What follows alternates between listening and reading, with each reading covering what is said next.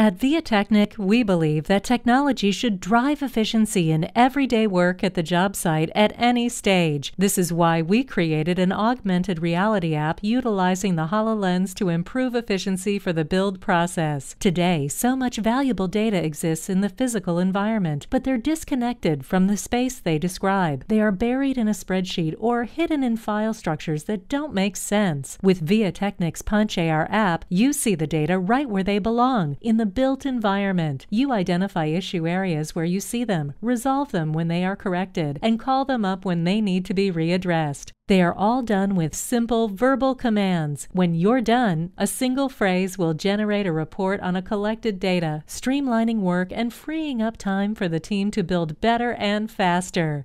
To learn more about our app, visit us on the web at www.viatechnik.com.